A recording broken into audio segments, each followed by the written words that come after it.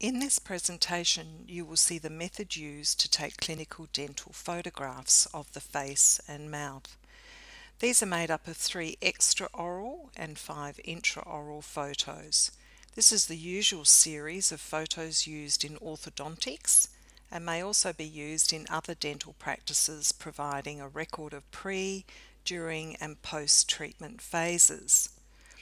Although recommendations for the aperture are provided, they may differ depending on the camera used. It is also recommended that you check each photograph that you have just taken by looking at the screen at the back of the camera so that if it hasn't worked you can delete it and can retake the photo straight away. Remember to access the patient's records to see what clinical photographs have been requested and then gather all necessary equipment including the camera and flash, sterilise cheek and lip retractors and mouth mirrors. When you call your patient in, communicate effectively by explaining to them what you are about to do, making them feel comfortable by telling them that this process is relatively quick and easy. Remember to gain and record consent. Now you are ready to take these photographs, starting with the extraoral photos. Wash your hands and open the sterilised pouches. Leave the cheek and lip retractors and mirrors on these open pouches until you are ready to use them. In this video, you will see the method used to take clinical dental, dental photographs of the face and mouth. Now get the camera. Using the camera neck strap will prevent the camera from being accidentally dropped.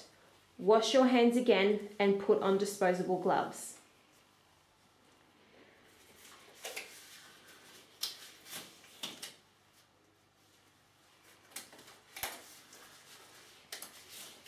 Ask your patient to stand with their back to the wall, facing you, but check that they are not leaning on the wall as this could create a shadow in, the photograph. Patients need to be at eye level with you so that the camera is at the same level. If they are much taller than you, the patient may need to be seated, and if they are much shorter, then you may need to be seated.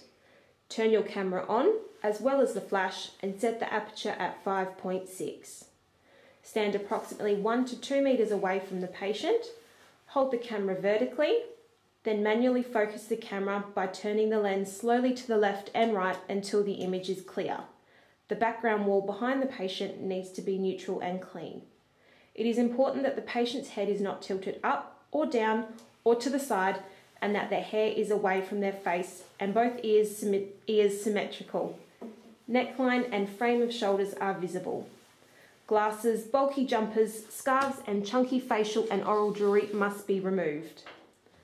The first three photos that you will take are the facial photos and are made up of the frontal photo taken at rest, no smile.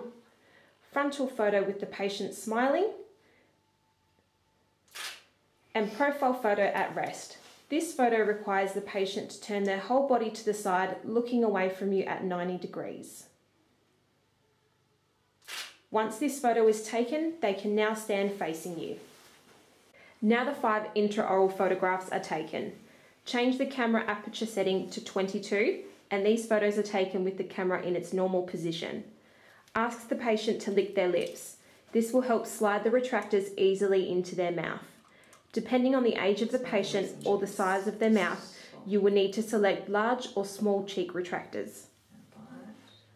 Firstly, take the anterior view with the patient biting in normal occlusion with cheek retractors stretched as far as possible away from the teeth and gums, allowing a good clear view of the teeth you want the whole arch in focus. Make sure that the patient is not tilting the head so that the mouth and occlusal plane is horizontal with the floor.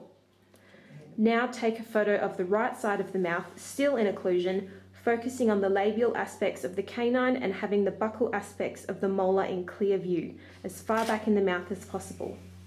Now perform the same on the left side of the mouth.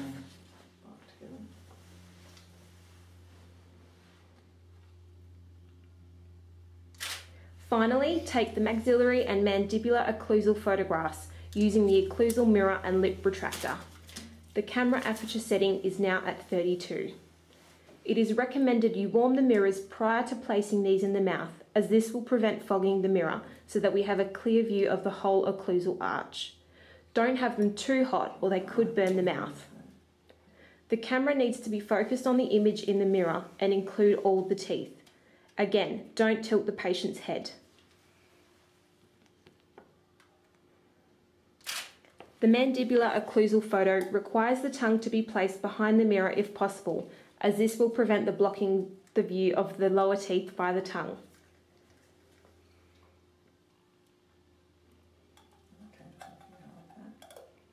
At the end of this procedure, remember to clear your equipment away from the work area, decontaminate this area, including the camera and equipment, sterilising the retractors and mirrors.